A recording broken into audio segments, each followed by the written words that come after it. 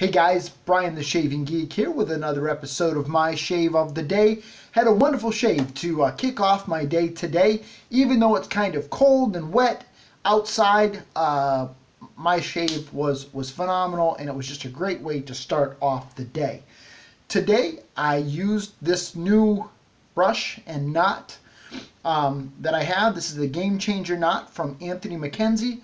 It's a 24 millimeter knot in a Creek Road pottery handle and really, really enjoying this, uh, this combination. Um, the, this handle just feels great in the hand, a lot of nice heft to it, and this knot is phenomenal. A lot of great backbone, but still that nice softness uh, that you, you know, I've come to expect from a synthetic. So really, really glad to have this and uh, very, very happy with it. Uh, I'm actually thinking about doing a head-to-head um, you know, brush competition between the two of these.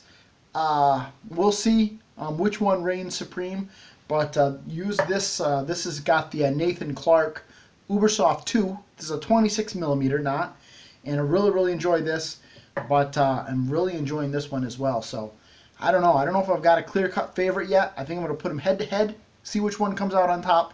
But either way, they're both great knots, and uh, these handles are phenomenal. Thank you, Al. CreekRoadPottery.com. Al's uh, working on some uh, handles. I got some ideas that he's playing around with, so looking forward to, to that coming out. For my soap today, this is a uh, soap that Jeremy, my buddy, uh, lent me. And uh, this is Salty Lime from PAA. Really, really enjoyed this. Um, whew, my nose is a little stuffed up, but still no problem whatsoever whew, um, picking this up off the uh, off the puck. Um, I would I would like it maybe to be a, a hair bit stronger, but uh, you know it's just really a really enjoyable scent. And uh, it, it's very interesting because sometimes, uh, well, I love citrus uh, scents. Sometimes lime scents just aren't my my cup of tea, and I think it's a lot of times the lime scents are synthetic maybe. Um, this one, uh, ooh, that's nice. I don't know how to, it's different. There's just something different to this, to this scent. And I really, really enjoyed it. So uh, thank you, Jeremy, for uh, lending this to me. I'll probably try to get another shave in it before I uh, in with it before I send it back, but really liked it.